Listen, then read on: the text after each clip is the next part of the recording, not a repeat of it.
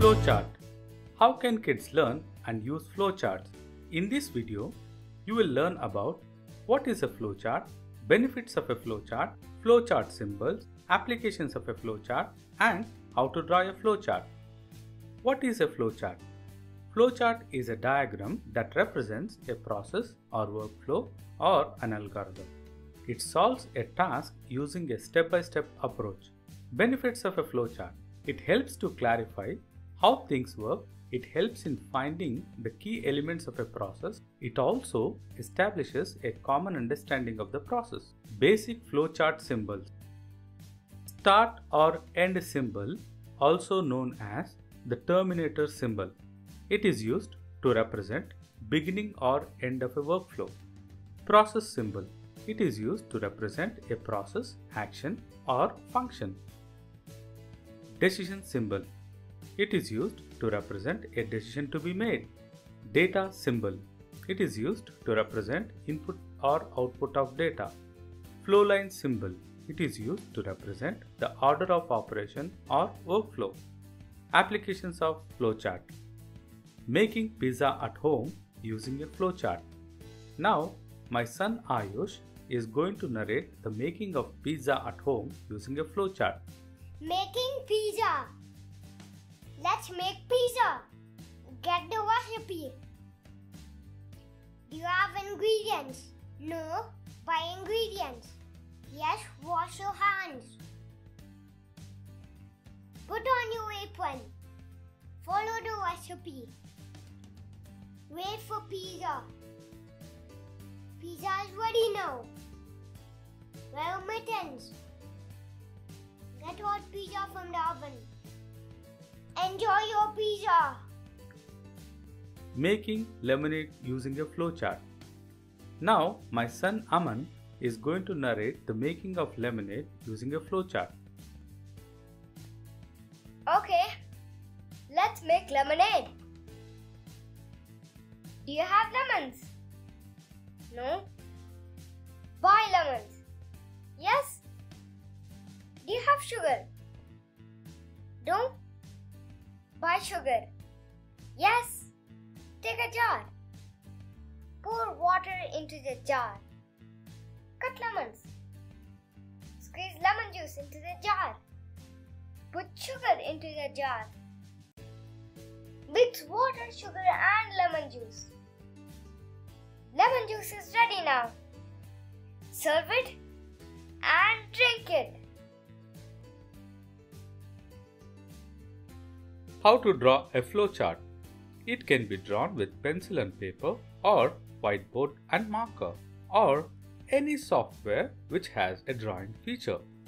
Now let's draw a flowchart of playing chess using a free drawing software called diagrams.net. Open your favorite web browser and enter the address www.diagrams.net. You can also find the URL in the description below.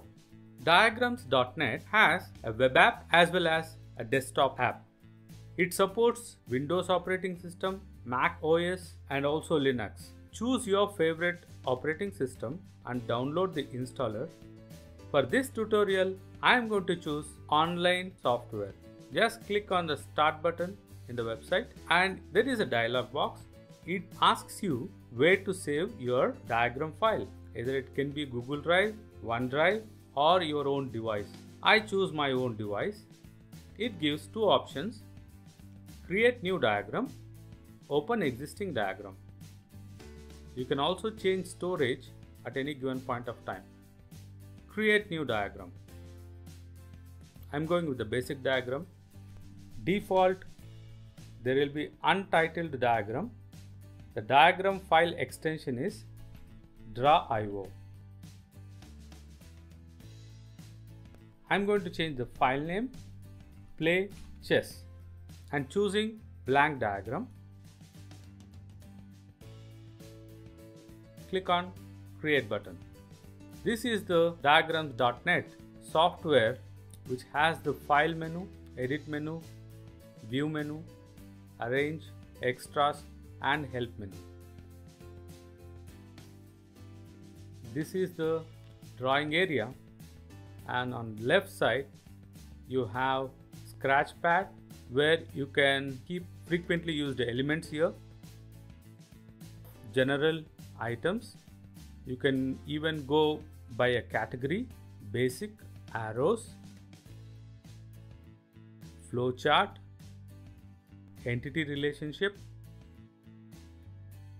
uml and so on but for today we'll be going with the general elements which are available by default. To start a flowchart we need ellipse which is a start symbol. Click on it and hold your left button of your mouse and drag it on the drawing board and place it there. And start it. Let's play chess. Then to play chess we need a chessboard or chess app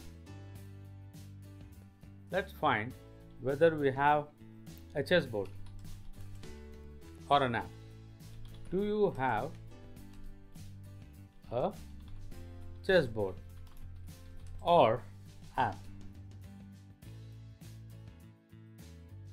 And you can connect this start and the diamond shape which is a decision symbol. Here you can see when you select any element you will get the arrow marks which are showing four directions and you can just click on the direction which you want to connect the next element. It automatically connects the next elements towards the arrow mark or a flow line. Now, if I have a chessboard, then I need to know how to play chess. So let's ask a question. So this time you need to make a decision based on the question, do you know how to play?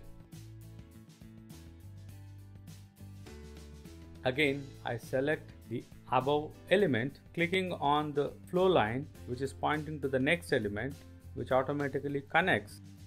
Click on the flow line and you just type type Y which means yes. Now if you have a chessboard and you know how to play chess you need to find a player. Now let's find a player.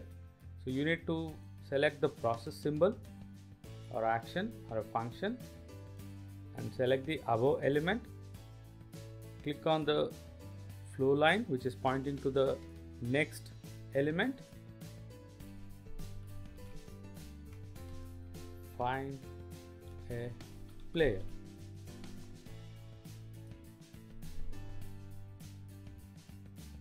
So once you find the player you can play the game. Click on the rectangle which is a process or function or action. Play the game. And select the above element. Click on the flow line which is pointing to the next element. Play the game.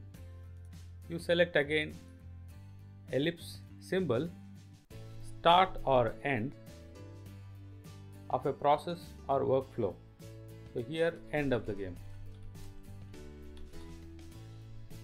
Select the above element.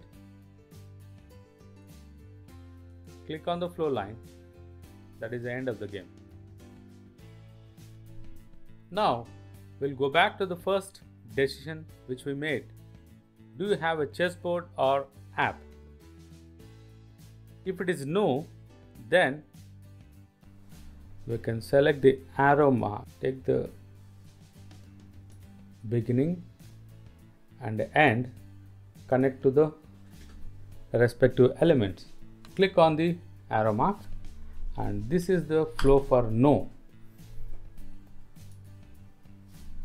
If you do not have a chessboard or app buy you just double click buy chessboard or download the chess app after that connect to next decision do you know how to play? If it is yes, we continued finding a player. And if it is no, we need to find a tutor or a tutorial. Let's select process symbol, find a tutor or tutorial. Click on the arrow mark select on the beginning of the arrow flow line and point it to the process.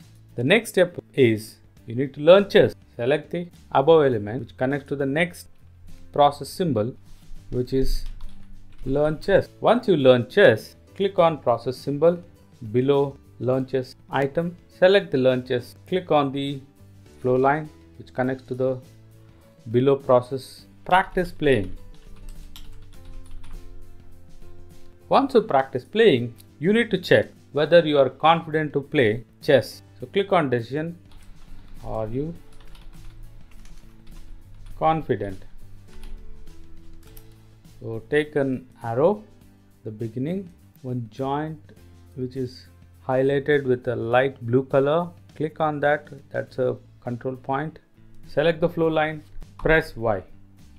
Select the practice playing, click on the flow line which connects automatically to the next element.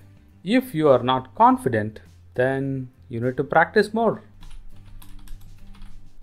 Recheck. If you are confident, you need to find a player, play the game, and end of the game. If you are not confident, then you need to practice more, recheck again until you are confident. Here is the flowchart to play chess.